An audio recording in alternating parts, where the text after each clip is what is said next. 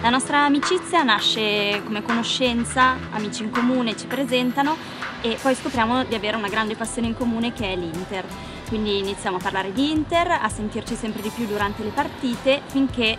andiamo per la prima volta allo stadio insieme per un Inter-Lazio. Io mi sono trasferita tre anni e mezzo fa ormai negli Stati Uniti per, per, lavoro e lì è cambiato tutto, non soltanto la mia vita di tutti i giorni ma anche poi il mio rapporto con Fedi e con, e con l'Inter in generale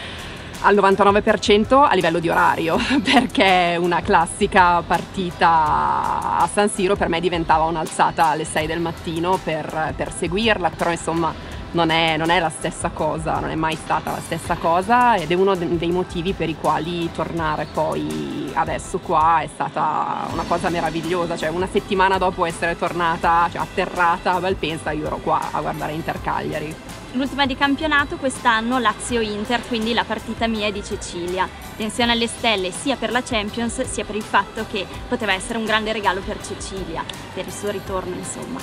Eh, al gol di Vessino il mio primo pensiero è stato scrivo a Cilli se facciamo l'abbonamento insieme in Champions League e spero anche qualche trasferta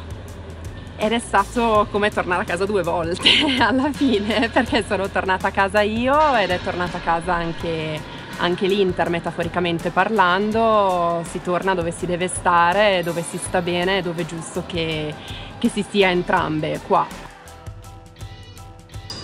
L'Inter per me è il mio papà. L'Inter per me è famiglia.